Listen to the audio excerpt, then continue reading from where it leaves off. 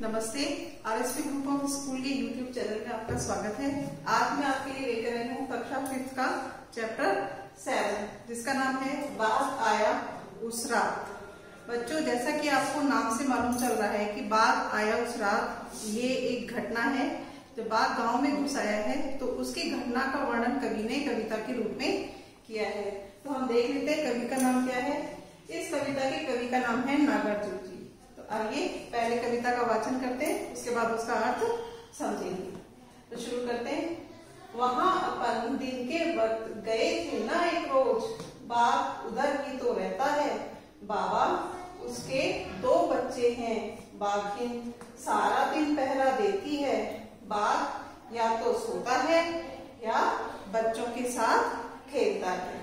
तो बच्चों, इस कविता में आपको बताया है कि जो दो बच्चे आपस में बा, बात कर रहे हैं जो बाबा को अपनी बात बता रहे हैं या उस घटना का वर्णन जो बाबा के सामने कर रहे हैं उसमें वो कह रहे हैं कि, कि बाबा जो बाघ है वो उधर ही रहता है जहाँ पर हम एक दिन गए थे वो बाघ वहीं पर रहता है।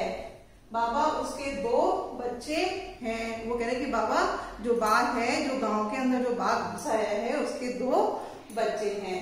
अब बाघिन सारा दिन पहरा देती है। अब बाघिन जो है सारा दिन पहरा देती है। यानी उन बच्चों की, जो बाघ के दो बच्चे हैं, उनके लिए क्या करती है वो? पहरा देती है। पहरा देना का मतलब होता है कि सुरक्षा के लिए आसपास घूमते रहना। बाघिन जो है, वो अपने बच्चों की सुरक्षा के लिए उसके उनके आसपास घूमती रहती है।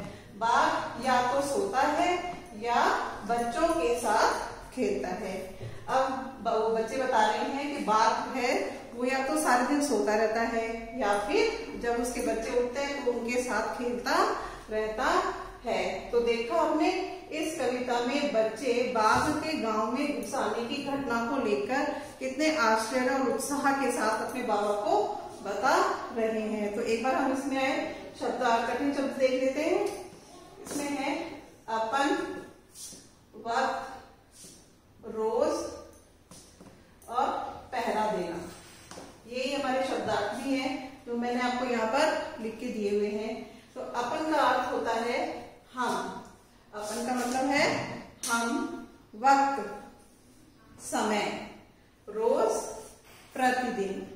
पहरा सुरक्षा के लिए आसपास घूमना। तो ये हमारे शब्दार्थ थे। अब बच्चों, आप सब क्या करेंगे? इस कविता का दोबारा वाचन करेंगे और इन शब्दों को सही तरह से उच्चारित करने की कोशिश करेंगे ताकि आपको, अब जब ये पढ़ें या आप कोई और बुक भी पढ़ते हैं तो आपको पढ़ने में कोई दिक्कत ना आए।